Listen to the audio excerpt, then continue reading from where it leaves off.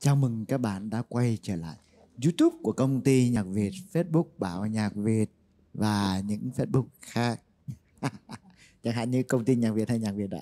Rồi, hôm nay thì à, như Hải đó nói thì bộ ba chúng tôi à gọi là ba chàng ngự lâm pháo thủ đúng không?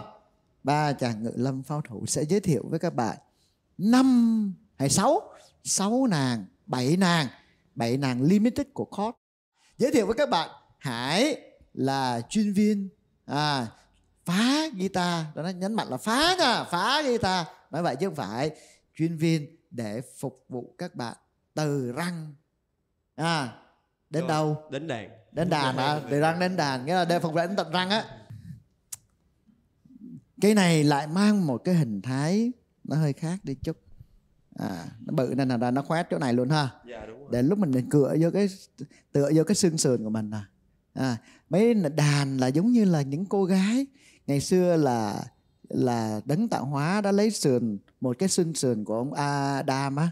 À lấy ra cái đúc vô một cái cái cái cái, cái, cái tượng đất sét à, đúc hình cô gái và thổi một hơi vô cái thế là ra nàng Eva về sau xương sườn của người đàn ông là thiếu luôn luôn thiếu một cái.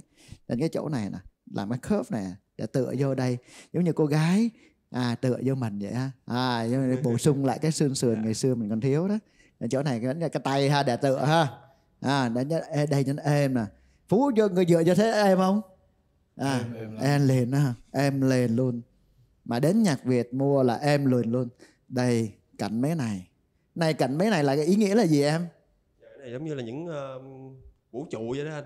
À, vũ trụ hả? Liên kết lại với nhau dạ. Đúng không? Nó làm rất là ma rất là ma mị nhìn À, rất đó. là mạnh mẽ. À nó ma mị nó mạnh mẽ. Nó điều mà em ờ, rất là thích ở những cái cây này đó là gắn được EQ nhưng mà không có khoét gì tới cái đàn hết. Vẫn À. giữ nguyên cái original của một cái đàn guitar. Tại vì chúng ta có biết là những cái đàn này rất là ngại cái việc mà khoét những cái trên thân cái đàn thì nó ảnh ảnh hưởng đến cái tiếng Ờ, thì xài những cái EQ phải gọi là cao cấp nhất của ờ, hãng LR Bass ừ. Đó. Dạ, âm thanh thích là tự nhiên đúng không? Dạ đúng rồi. Phú có thể đánh cái này sơ sơ.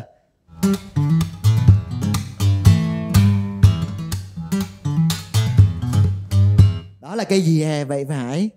Đó là cây uh, Korg GALE BF Limited Edition.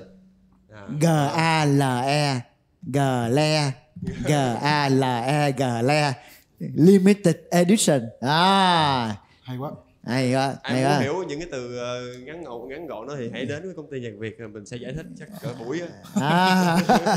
à. Cả buổi lên đó hả? Hải này có được cái cái là yêu trai lắm á các bạn ơi. Không biết sao á gái tới nó- chỉ có 5 phút và lúc ở cái quầy tính tiền là còn nó còn các trai tới là sẵn sàng ngồi cả buổi để giải thích tất cả chỉ nút này kia đó. Nhưng mà gái tới là chỉ ra quầy tính tiền 5 phút là xong. Đó nên các bạn cứ yên tâm à hải đặc biệt là như vậy. Đó.